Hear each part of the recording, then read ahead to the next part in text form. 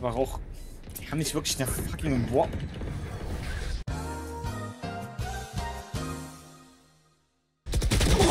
Hast du das gerade gesehen, André?